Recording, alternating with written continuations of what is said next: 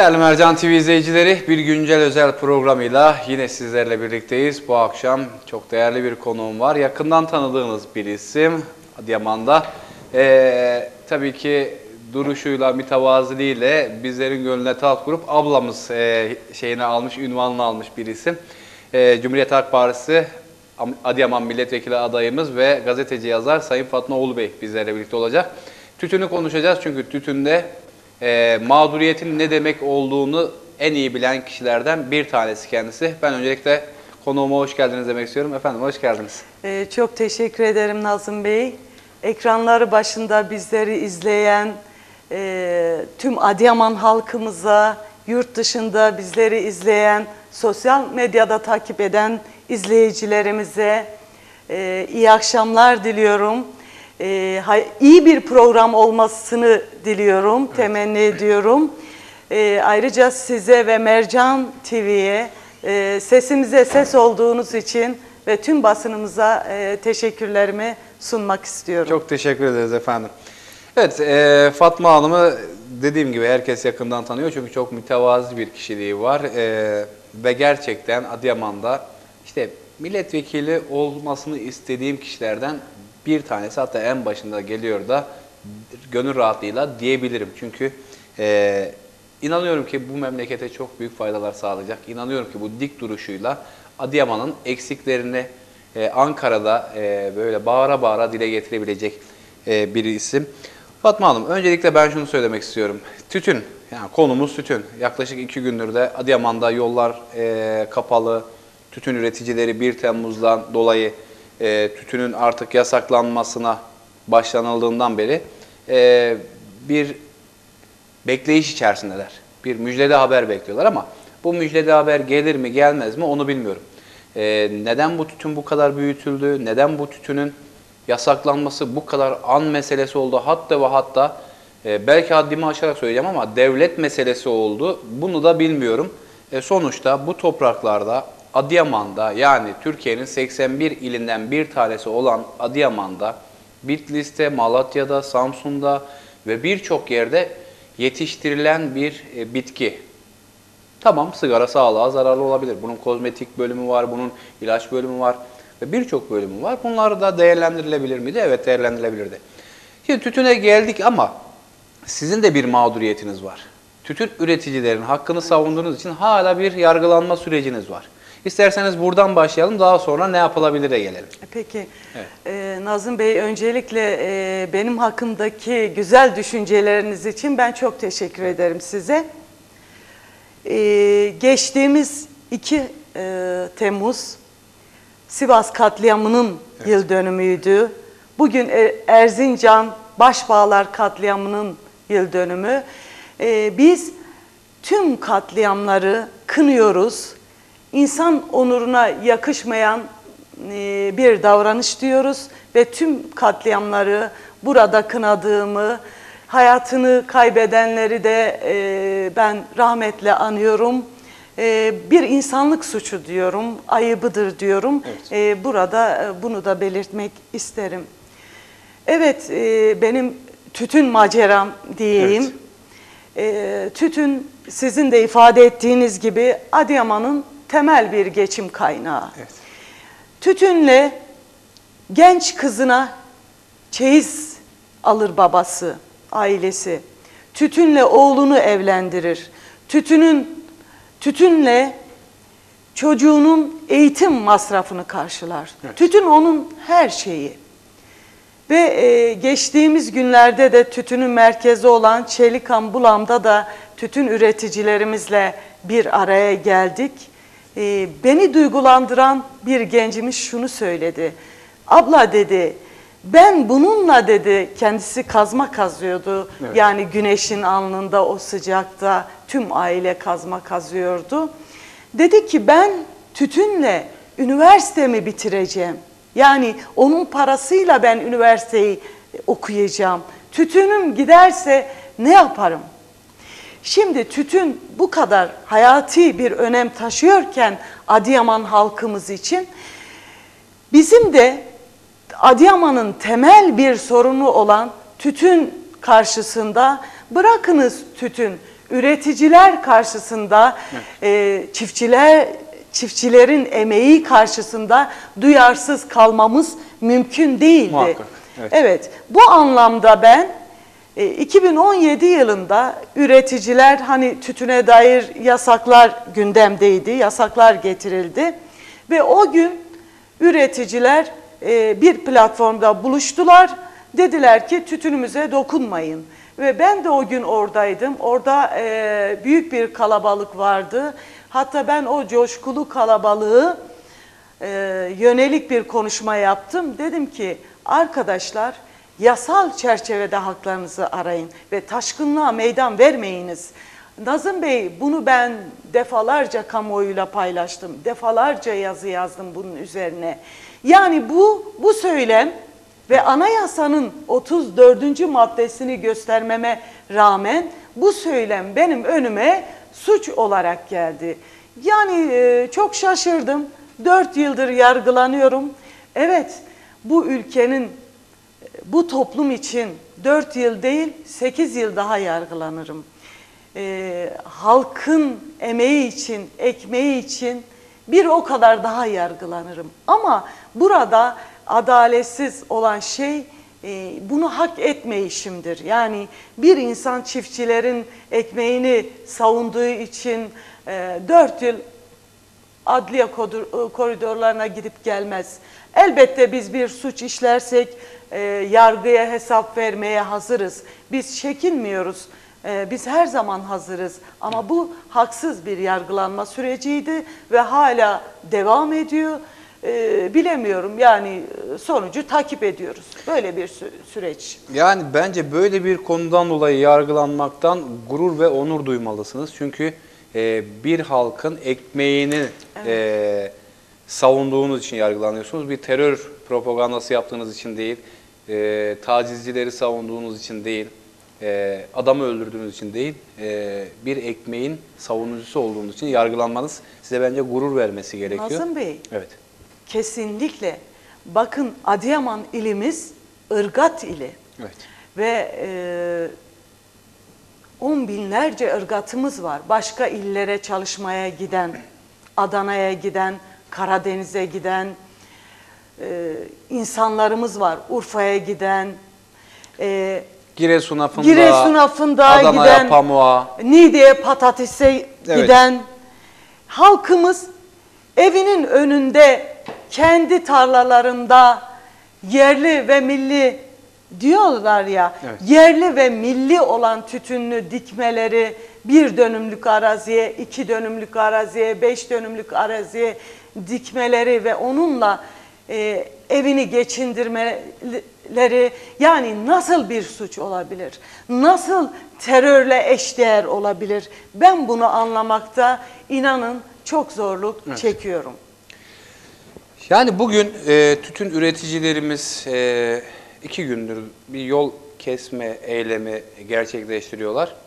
Tamam yani belirli çerçeveler içerisinde bunu normal karşılayabiliriz. Ki orada Sayın Valimiz de oradaydı, e, Emniyet Müdürümüz de oradaydı, Jandarma Komutanımız da oradaydı. E, bir yasal çerçeve içerisinde tamam eyvallah. E, haklı olarak kırmadan, dökmeden, e, devletimizin bekasını, birliğini, beraberliğini bozmadan bütün her şeyde muhakkak ki biz yalnızdayız. Ama bugün e, ana haber bültenlerinde de ben söyledim. Ambulans ve 110 yani e, itfaiye ve e, 112 ambulans ekiplerinin savaşta dahi geçil, e, geçiş üstünlüğü vardır. Lütfen ama lütfen bu konularda biraz daha dikkat edelim. Bize yakışmayan bir hareket sergilemeyelim. Orada gençlerimiz ambulansın kapısını açmaya çalıştılar. Hasta var mı? Hiç önemli değil. Hasta olmasa bile, o ambulans boş olsa bile onun geçiş üstünlüğü vardır. E, bu konularda biraz daha duyarlı olmak gerçekten e, insanlık gereği. Hani bırakın her şeyi bir tarafa. insanlık gereği biz bu konularda hassasiyet göstermeliyiz. Oradaki hasta sizin hastanız da olabilirdi.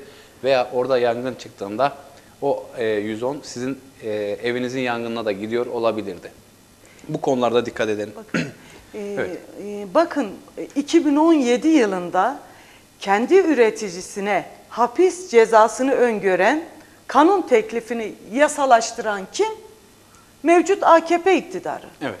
Şimdi topu başkalarına atmanın hiçbir manası olduğunu ben düşünmüyorum. Ee, siz bununla e, şu kooperatifleşmeden bahsettiler. İşte tütün biz kooperatifleri Evet. kuracağız falan ve bunu da başaramadılar. Ee, bu, bu kooperatifleri kimler kuracak? Ee, ve Şartlar bu, ne? bu şartlar ne? Şartlar ağır, ekonomik zaten e, üretici bitmiş durumda maddi açıdan zorluk çekiyor. Yani inanın bu da oturmadı. Yani e, kaldı ki benim sahada gördüğüm şey insanlar kooperatifleşmeyi de bu şekilde istemiyor. Çünkü ucu açık. Yani ne olacağı belli değil. Ben ne kadar ödeyeceğim, vergim ne kadar olacak hatta yüksek bir vergiden Çok yüksek bir vergiden bahsediliyor. Yani onun için üretici şu an şaşkın. Adıyaman halkı evet sizin de ifade ettiğiniz gibi günlerdir meydanda. Onlar sadece ekmek tevge- e, teknelerinin peşindeler. Onların terörle herhangi bir alakaları yok. Herhangi e, bir e, ilgileri yok. Evet. Evet bu olayı provoke etmek isteyenler Muhakkak elbette olacak, olacak. muhakkak Ama olacak. ne yapacak? Güvenlik güçlerimiz kimin hangi niyetle nasıl orada Çok doğru. olduğunu Evet, çok doğru. kendisi tespit edecek. Yani işi getirip farklı boyutlara götürmek, e, e, bundan sonra bir 6 ay uzatma gibi bir durum söz konusu. E peki 6 aydan sonra üretici ne yapacak? aynı şeyler yaşanacak. Yine aynı şey. Yapmayın bunu. Bu bekleyiş o kadar zor ki Nazım Bey. Ve çiftçi diyor ki günlerdir ve bir yıl boyunca çiftçi bana diyor ki üretici Fatma Hanım ne olacak? Yani nasıl olacak? Biz Akıbetini bilmiyorlar, evet. Ambarlarımızda e, tonlarca tütün e, bekliyor. Biz ne yapacağız diyorlar. Evet. Yani gerçekten çok üzgünüm. Evet. İlim adına, adına, ülkem adına çok çok üzgünüm. Ee, lütfen yapmayın. Bakın İstanbul Sözleşmesi'ni 2011 yılında AKP imza atmadı mı? Kabul etmedi mi? İstanbul Sözleşmesi'ni bir gecede ne yaptılar?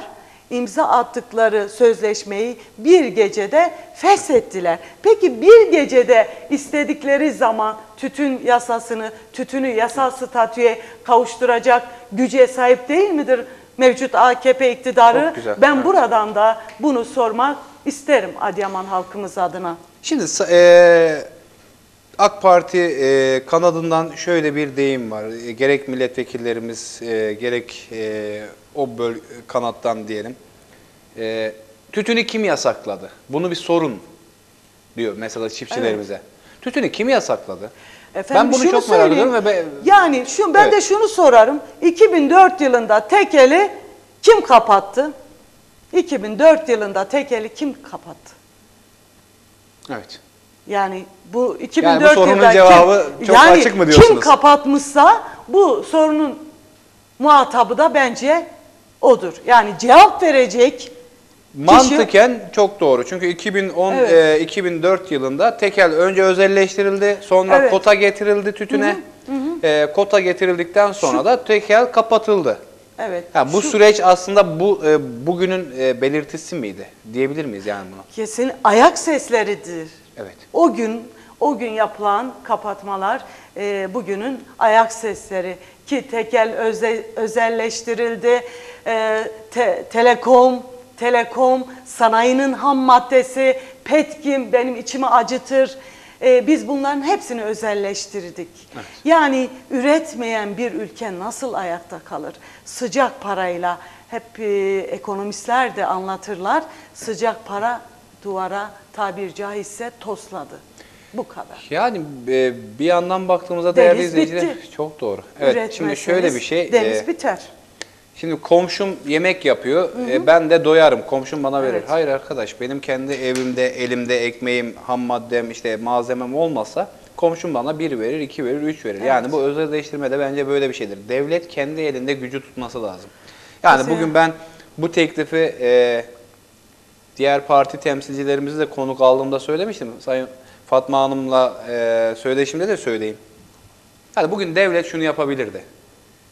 Arkadaş ben kooperatifleşmeyi bitiriyorum. Kooperatifleşmeye gerek yok. Ee, siz burada tütünle mi geçiniyorsunuz? Evet.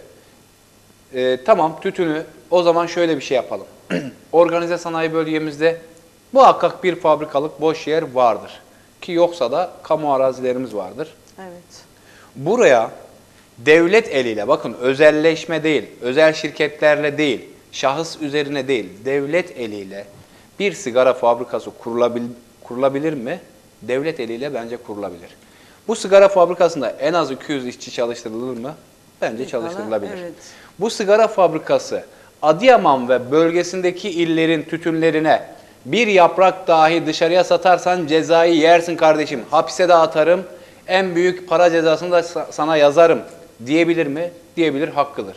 Ama alt zemin oluşturmadan böyle bir yasağın gelmesi e, hem üreticiyi zor durumda bırakıyor hem ekonomiyi zor durumda bırakacak. Yani bugün e, tütün üreticileri tütünlerini tarlayla buluşturmadığı anda Fatma Hanım'ın biraz evvel söylediği gibi yani üniversite öğrencisi bu tütün e, parasıyla okuyor.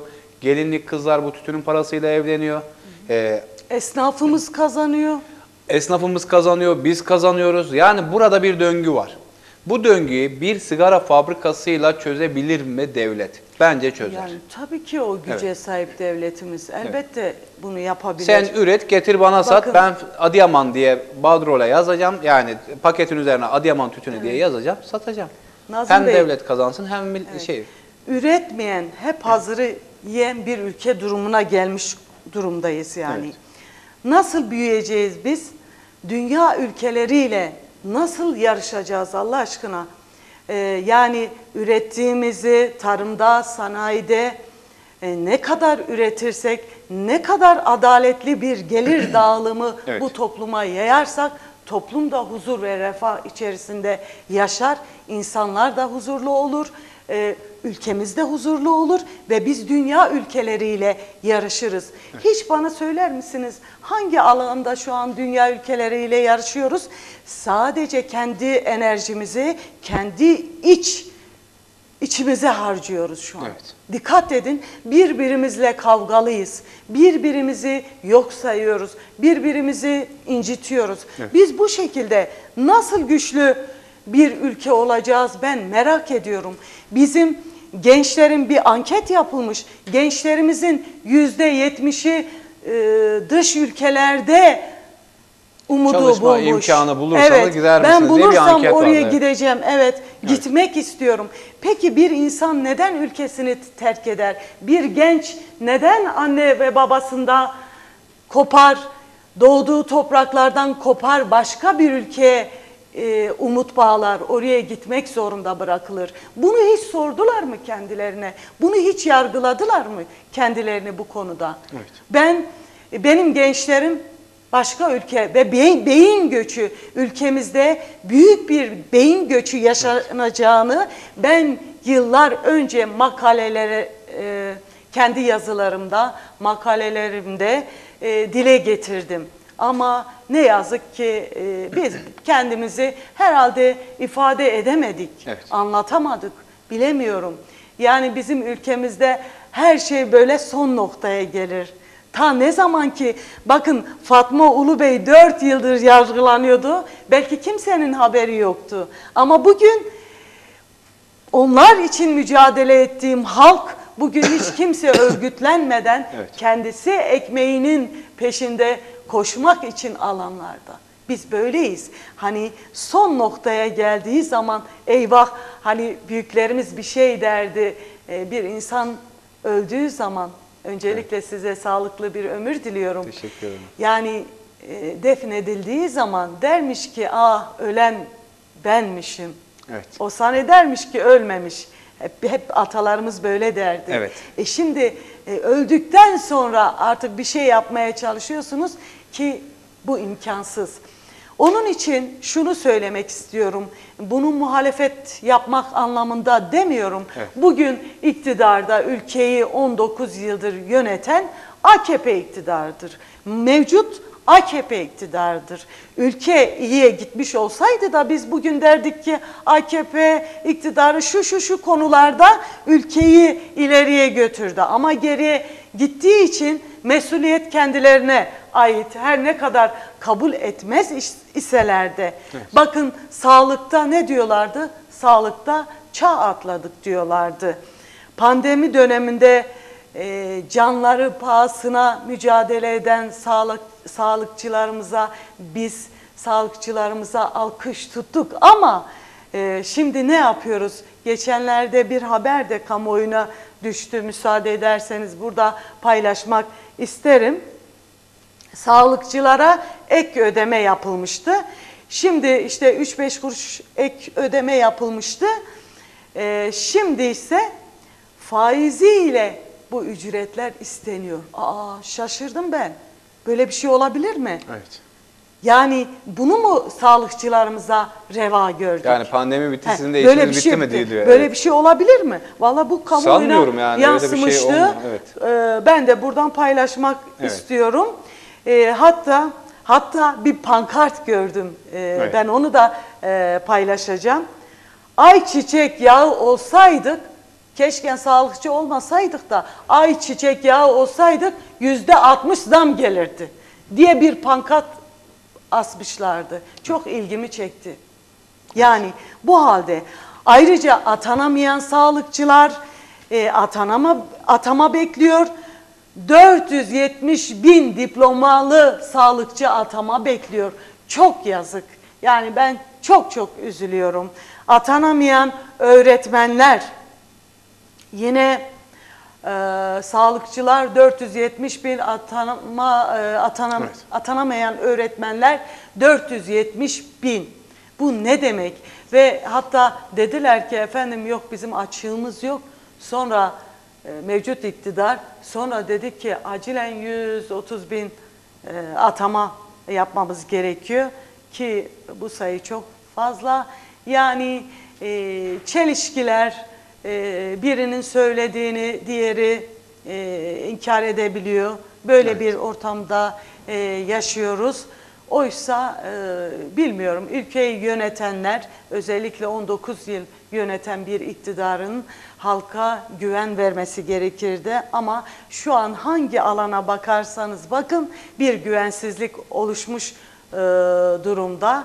E, Shakespeare'in bir sözünü hatırladım. Shakespeare diyor ki güven ruh gibidir.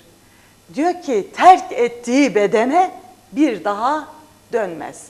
Ben bu halkın bir daha AKP iktidarına güveneceğine inanmıyorum ve önümüzdeki seçimlerde halk gerekli cevabı sandıkta verecek diye düşünüyorum. Evet. E, şunu da Adıyaman halkımızla paylaşmak istiyorum bizi izleyenler. Ülkeyi yönetenler, iktidarlar gelip geçicidir. Bunu yıllarca yazılarımda yazdım. Hangi siyasi düşünce olursa olsun ama ülkenin çıkarları kalıcıdır. Evet. Bizlerin e, ülkenin çıkarları kalıcıdır ve hatta Batı ülkelerinde ülkelerin kırmızı çizgileri vardır. E, eğitimle kimse oynayamaz, sağlık sistemiyle kimse oynayamaz. Ama biz ne yapıyoruz? Eğitim sistemini kendi ideolojimize göre hangi siyasi parti iktidar olmuşsa kendi ideolojisine göre eğitim sistemi e, dayatıyor. Evet. 4 artı 4 eğitim sistemi bugün yani sınıfta kaldı. Gördük, çöktü. Evet.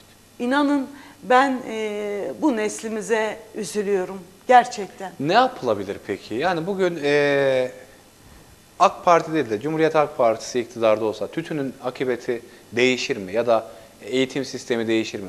Eee, Cumhuriyet Halk Partisi'nin iktidarla ilgili bir eee, şeyi var mı? A planı ya da B planı e, var mı? Cumhuriyet Halk Partisi zaten kotayı kaldıracağını seçim bildirgesinde ben de geçen dönemlerde adaydım. Biz bildirgemizde bunu halkımızla paylaştık. Hatta Cumhuriyet Halk Partisi aile sigortası çok önemli bir sigorta. Evin kadını e, cüzdanını alacak, bankaya gidecek, kimseye minnet duymadan parasını çekecek.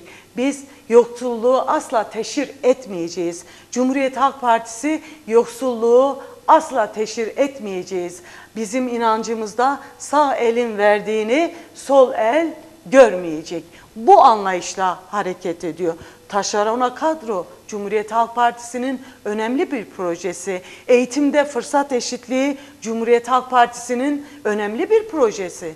Bu anlamda Cumhuriyet Halk Partisi gerçekten bir üniversitenin kampüsü gibi çalışıyor diyeyim. Evet.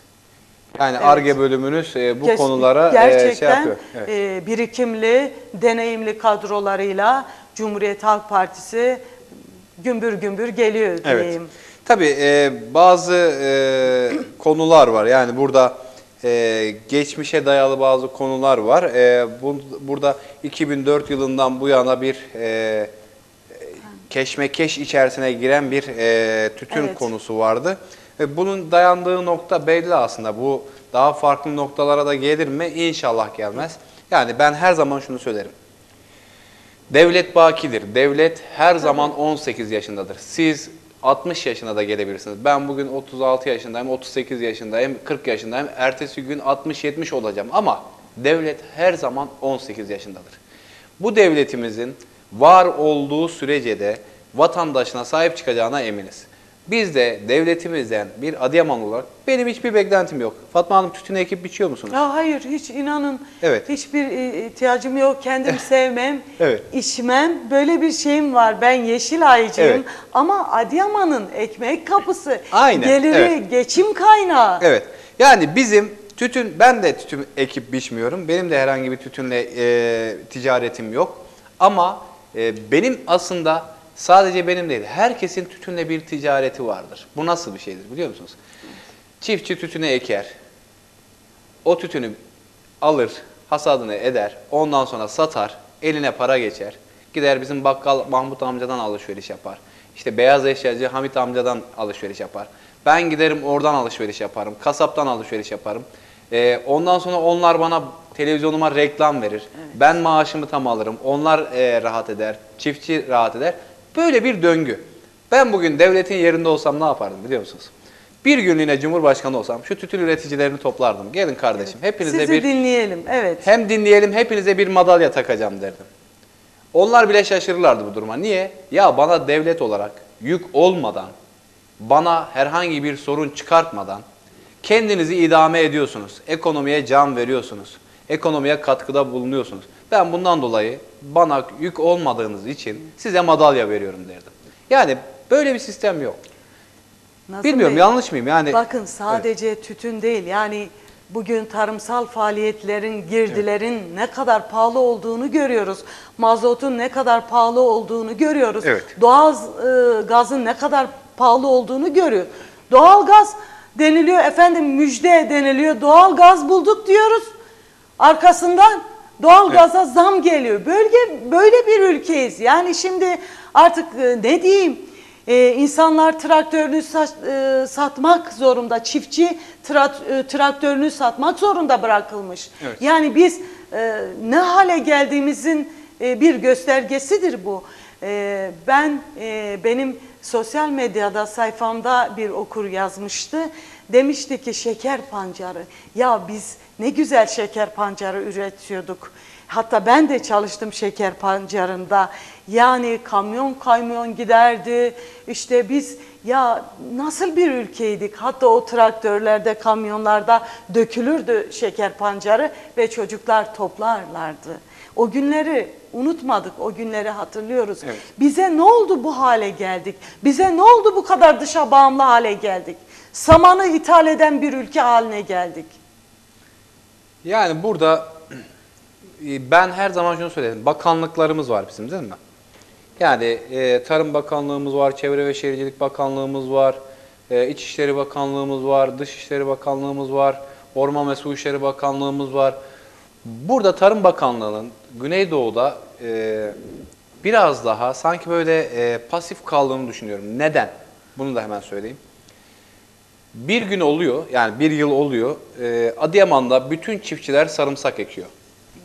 Sarımsağın kilosu 5 liraya düşüyor. Bu seneyi baz alalım. Geçtiğimiz sene hiç kimse sarımsak ekmedi. Kilosu 70 liraydı. Böyle bir Tarım Bakanlığı'nın arkadaş sen bu sene ülkenin sarımsağa ihtiyacı var. Bu sene eğer sarımsak ekersen sana teşvik vereceğim. Evet. Teşvik, Senin. E, gübrende sana katkı sunacağım, mazotunda sana katkı sunacağım, e, ekiminde sana katkı sunacağım dediği zaman ben bir sene sarımsağı 70 TL'ye, diğer sene sarım, sarımsağı 5 TL'ye almamış olacağım. Yani belli bir dengede tutmuş olacak. Burada Tarım Bakanlığı'nın bence görevi buydu. E, Ee, bilmiyorum yanlış mıyım ama Yani e, şunu söyleyeyim. Önce ülkenin bir tarım politikasının olması gerekiyor. Siz tarım politikanızı güçlü kıra- kılarsınız. E, tarım politikanız e, bağlayıcı olur. Yani öyle ucu açık kim herkes bir serbest piyasa şu bu. Evet. Zaten bu mahvetti. Siz denetlersiniz dediğiniz gibi siz ona göre vatandaş da çiftçi de ona göre Evet. ya ben bugün yaptım ama işte bir yıl çok bir yıl az e, gelir çok olunca işte maliyet düştü şu bu. Yani bunların önüne geçmiş ol- olursunuz. Bizim bir tar- tarım politikamızın olmayışı e, bu mağduriyeti yaşatıyor kanımca. Evet. Yani ülkenin bir ciddi anlamda bir tarım politikası olmalı. Olması gerekiyor. Maalesef biz e, yani tekrar tütüne diyelim sıcak gündem tütün. Adıyaman'da siz bakın e, uluslararası sigara kartellerinin işte bu Philip Morris Japon Evet. bilmem şey e, ülkemizdeki e, bütün piyasaya hakim olmak için mücadele edebilirler. Ama sen kendi Önce kendi ülkenin çiftçini yararına. Evet. kendi çiftçinin yararına olacak imzalara e, yani e, işlemlere imza atmalısın. evet çok doğru. Faydalı olacak şeylere imza atmalısın. E, bugün ülkemiz torba yasalarla yönetiliyor. Bir gecede bir kanun geçiyor ve vatandaş bunu sorgulamadan, vatandaş arasında bir tartışmaya yol açmadan biz geç, e, geçiyor yani. Kimse de farkında bile değil. Evet. Bakın onun için geçmiş yıllara gerçekten ben bazen özlem duyuyorum. Ee, ülkenin siyasetçileri, ülkenin genel başkanları, siyasi partilerin genel başkanları bir masa etrafında toparlana, toplanabiliyorlardı, konuşabiliyorlardı, tartışabiliyorlardı. Hatta gülebiliyorlardı. Evet. Karikatürleri çiziliyordu. İncitmeden. Evet. Evet. Ama şimdi Muhabbetler ne mi? karikatürist kaldı ne sanatçı kaldı. Çok yazık oldu. Ee, bir de sanatçı demişken e, müzisyenlerimiz de çok zor durumdalar Evet. ve enstrümanlarını, enstrümanlarını satmak zorunda kalıyorlar. Bu mu ülkenin geldiği durumu? Bu mu? Bu mu biz çağ atlatacağız? Böyle mi biz dünya ülkeleriyle kafa tutacağız? Evet. Ve yani e, bence insanların ekmeğini elinde almayın. Ekmeğin siyasi ideoloji olamaz. Ekmek ne sağcıdır ne solcudur. Ekmek siyaset üstüdür. Evet. Lütfen insanların ekmek teknesine dokunmayın diyoruz. Ve Adıyaman'ın tütününe dokunmayın. Bırakın üreticiler üretsin. Nasıl satıyorsa satsın. Siz yine denetleyin. Siz yine vergi alın. Onlar zaten bunu istiyorlar ki. Evet. Onlar biz vergi vermeyiz demiyorlar ki. Ama lütfen onların hepsini getirip terörle eşdeğer yapmayın.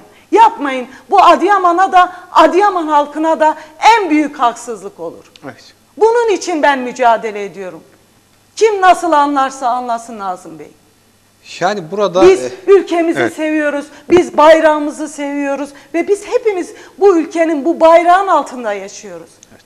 Ve Peygamber Efendimiz bakın diyor ki komşusu açken kendisi tok yatan bizden değildir diyor.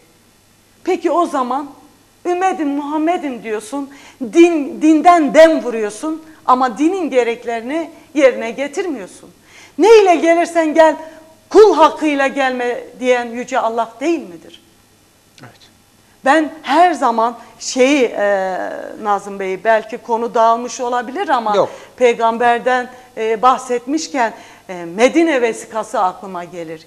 Ki o dönemde e, peygamber efendimiz inanan, inanmayan, Hristiyan, Musevi ve herkesin hak hukuku- hukukunu gözeten bir vesikayla büyük bir devrim yaratmış. Peki biz onun ümmetiysek, biz onun yolunda gidiyorsak neden neden haksızlığa göz yum- yumuyoruz? Neden haksız şeyler yapıyoruz? Bunu ben burada sormak istiyorum. Evet. Ve bunu bizler bizler basın adına dile getirdiğimiz zaman biz yani biz muhalif oluyoruz. Var mı böyle şey? Evet. Nazım Bey ben şunu her zaman söylerim. Siz evladınız bir yanlış yaptığı zaman siz evladınızı, kendi çocuğunuzu uyarmazsanız siz onun yanlışına ortak olursunuz. Evet. Çok doğru. Siz bu onu uyarmanız onu sevmiyor anlamına mı gelir? Hayır. Siz çocuğunuzu sevmez misiniz? Ama yanlış yaptığı zaman dersiniz ki çocuğum dur sen yanlış yapıyorsun. Ama artık kimse kimseyi eleştirmiyor. Kimse bir korku imparatorluğu yaratılmış. Kimse kimseyle konuşamıyor. Farklı görüşlerimiz olabilir. Farklı inançlarımız da olabilir. Bu zaten böyle olmaz ise bir e, tuhaflık vardır. Bu demokrasinin gereğidir. Biz demokrasiyi içselleştiremedik, içselleştiremedik. Bizim en büyük eksikliklerimizden biri budur diye düşünüyorum ben. Yani e, doğru söylüyorsunuz. Bugünü yarınla aynı Evet. olan zarardadır diye Tabii. Peygamber Efendimiz'in hadisi de var. Şimdi e, burada e, din üzerinden e, gerçekten e, bazı şeyler var ki e, çok konuşulur, çok yapılır ama ne kadar yapıldı bu önemli. Evet. Yani bunu e, kullanmamak gerekir. Bunu e, genelde hani kimin ne kadar kullandığını herkes iyi biliyor da ve fazla da söylemenin bir anlamı yok. E, ya Müslümanım deyip Müslümanlığın gerektiğini yapacaksın.